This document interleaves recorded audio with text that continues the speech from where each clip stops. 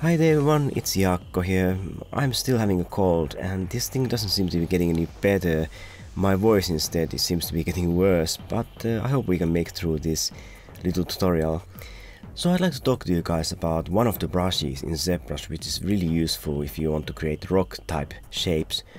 So if you go to Lightbox and go to brushes here, we can see that we have all these uh, folders in here and if you go to uh, trim in here we can see that uh, I'm just gonna let it open. It's my computer is a little slow. I'm running old Macintosh here and yes so finally loaded. So we got a bunch of these and this last one trim smooth borders so if you click that we can get it. But before we get started I'd like to give this sphere more like a rock shape so that uh, we can get something more interesting to work with so I'm gonna go to uh, make polymesh 3D and I'm gonna go to make a dynamesh of this so that uh, we can uh, kind of get something to sculpt with. I'm just gonna take move brush in here, hit M for move. So, so when you select the brushes, you can um, basically. So we know that we're doing the move brush, so it's M, and then if we hit V, we can get move. So we don't have to uh, we don't have to uh, go out there and try to find it manually. And if you can just like hit M and see all the ones which start with M for example and if you want to go like standard just hit S and you can see that we have all the ones which start with S. So, so it's a really quick way to to sort of limit your uh, selections here. So I'm just gonna start to kind of uh, pull this guy out. So what I want to avoid is uh, any kind of per perfect sphere type shapes in here so that because in nature nothing is uh, perfect as we know like there's no such thing as perfect sphere and so on. And and especially if you are starting from a cube that would be uh, really important to avoid any perfect cube kind of shapes unless it's something that's like uh, cut by a man. So I'm just moving and pulling and uh, doing some little um, adjustments here to try to kind of uh, give it something that is uh, more like not not a ball. Um, maybe this might might be something interesting here. So I'm just pulling and moving and trying to just basically try to look at it from all different uh, angles so you can get like we're still getting this kind of um, too much like a perfect uh, uh, I'm just gonna do like more uh, it's good to not to go too uh, complicated here, not to have too many uh, things pointing out and so on. So always try to to to keep it simple in the beginning. So this is something that I like to do to sort of uh, get get going with my uh, sculpture, and I'm just gonna try to be a little bit quick in here. I would normally spend more time to this to to give it more uh, more interesting aspects but uh, because you know you guys don't just want to see me spending all night with this so uh, let's say that we are kind of happy with this. Another thing what I like to do is that I like to use these trim curves to sort of uh, cut to start to define some planes in my rock. So I, what I do is that I use shift and control to get this trim curve this is a scissor kind of thing and what this does is we can see this slice um, sort of angle which happens here. So I'm gonna do and try it. So I did it this way so I did it actually the wrong way. So I'm gonna go from here.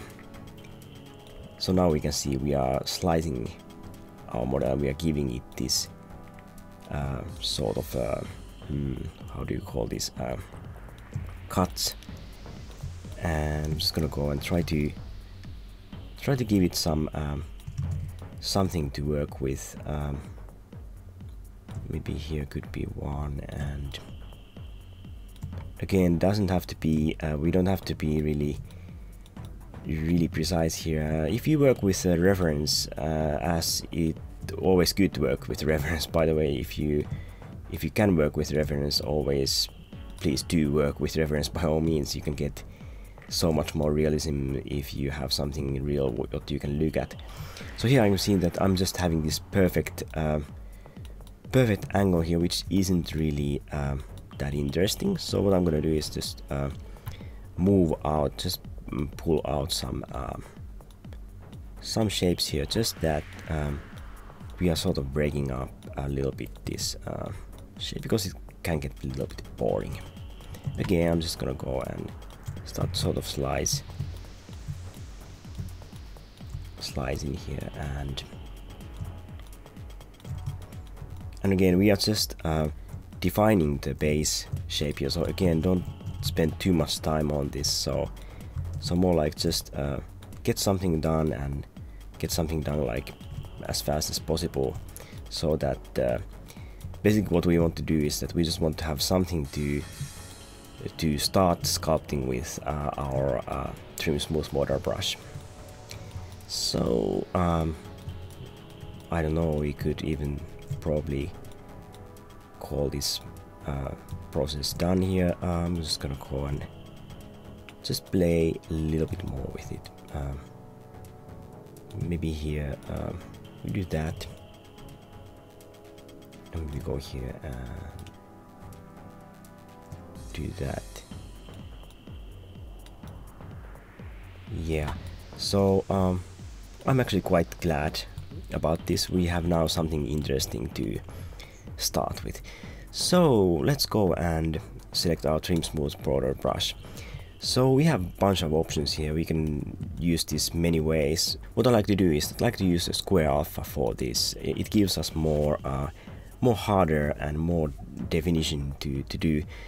There are many ways we can do. We could use, for example, use the spray like uh, someone in YouTube uh, actually mentioned this that um, if you use the spray you can already you can start to do this and if you do this without alpha I'm gonna actually turn off the Dynamesh now and I'm gonna divide it so that uh, we can get more results. So we can get this kind of effect right off the bat if we just use the spray and I think this is really cool. Uh, we already have basically rock going on here. This already kind of reads as rock, right? It could be rock, but you know, well, um, it's um, not really defined and we don't have that much control but but if you have to do rock in a couple of minutes and you don't have uh, time or budget to to really uh, sculpt it in manually you could do this and get something interesting so instead of doing that uh, I like to however show you another ways to do it but I would like to however maybe just do this a little bit so we can we can get a little bit of this interesting uh, sort of uh, terracing effect going on in here. So I'm just gonna do this uh, just a little bit so that we have um, we have these little ridges here which uh, our trim smooth border can latch into. So so to sort of explain how this works because um, this is sort of a thing that seems to still be uh, sort of like a joker, sort of like a uh, this uh, weird uh, artistic brush that sort of does what it ever wants. So um, I'd like to sort of try to help you to understand how it works. So it is uh, similar to planar brush, but what I would, um, if I try to, if I try to kind of imagine what the trim smooth border brush would mean as a name, is that trim smooth border brush is that it's a planar brush, but it has a smooth or soft sort of a threshold where it sort of latches into. So let's take a look. So I'm gonna go in here and I'm gonna start to do this.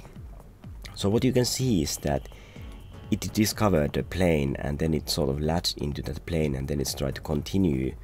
If we do that we can smooth basically, we can create a plane by just moving our uh, cursor.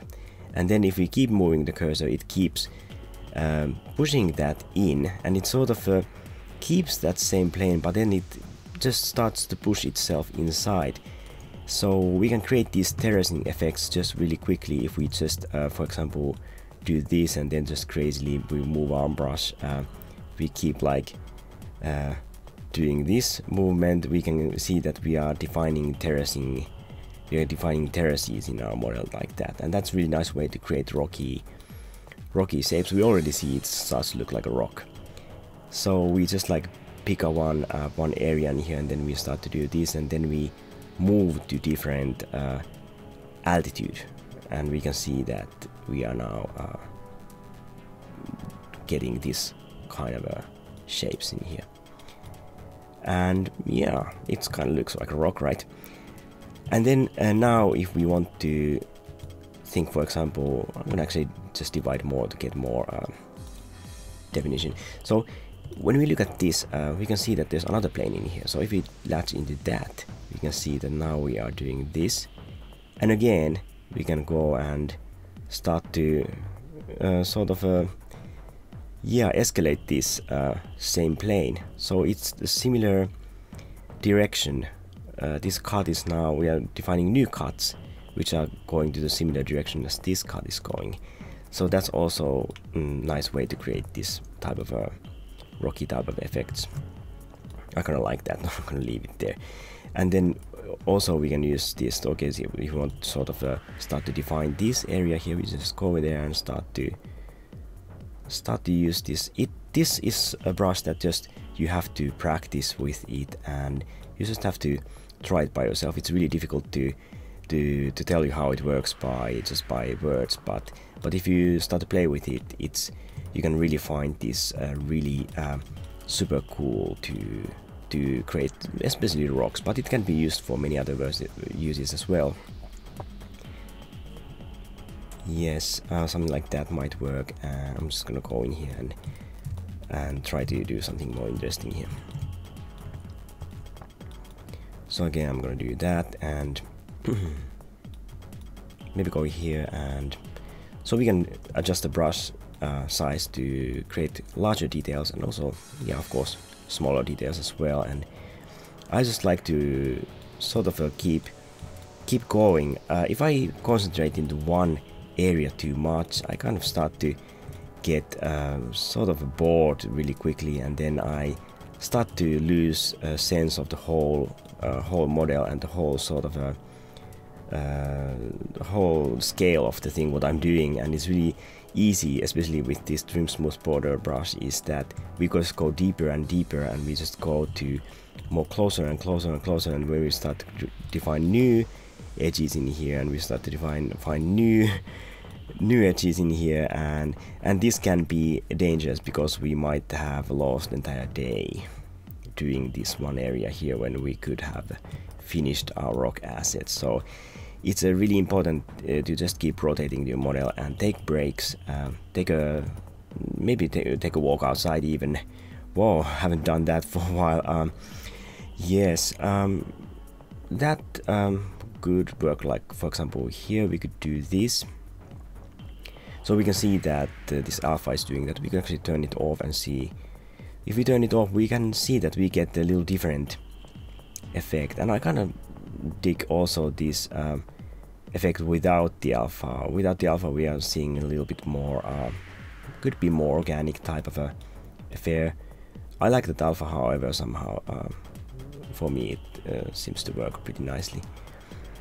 But we can see that basically uh, even without the alpha uh, the Trim Smooth border brush it um, works the same way. It, it looks uh, a plane and then when it latches into the plane we can go and define further areas using that same plane as a reference. So um, I'm not sure if that makes any sense but um, anyway something like that.